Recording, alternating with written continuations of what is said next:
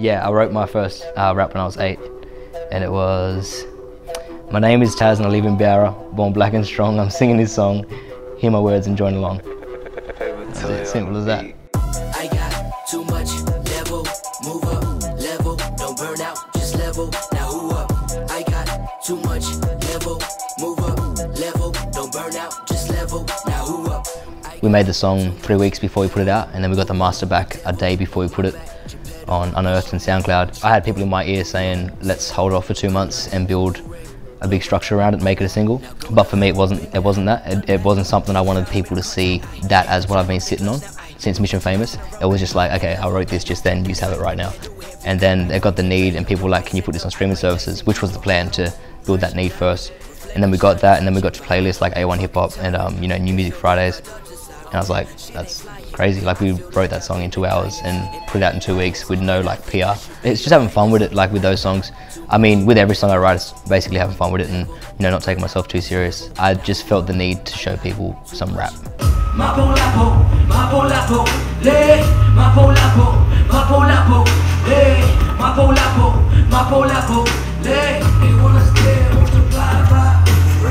Flopleys obviously, you know, that stems from my great uncle. He's passed away now. Um, and if you notice, like with the EP, is there's kind of this overlaying message of, I guess, death in a way.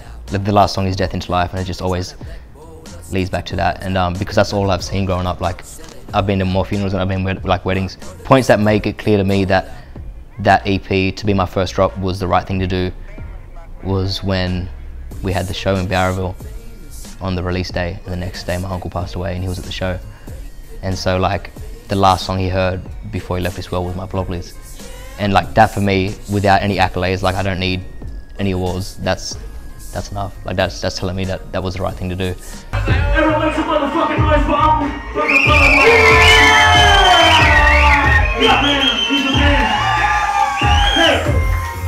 It feels good, you know, like um, just taking these small steps eventually to, to bigger things.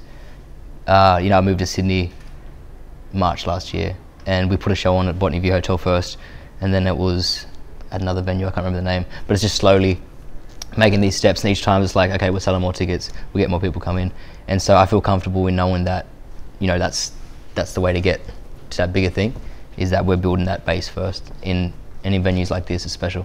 We're using hip hop now, and you know, everyday music now to replace that storytelling because we don't know those traditional ways anymore.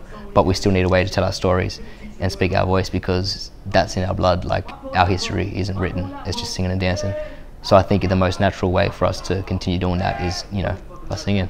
Mapo lapo, mapo lapo, lay. Mapo lapo, mapo lapo, lay. Get the fuck on this stage. You get the fuck on this stage. You get the fuck on this stage. You're from CRB. You're on stage. Yeah. Let's fucking get it. Hey! They don't know. Police stretching knees for the popo. On top of me was the keys to the sideshow. Clown motherfuckers, run down motherfuckers. I'm supposed to be locked up with three cousins, but my open mind always set me free. Smuggled in some borrowed time, watch out for the heat. They want us dead, multiply by three. Mabo lapo, mabo lapo, lay, mabo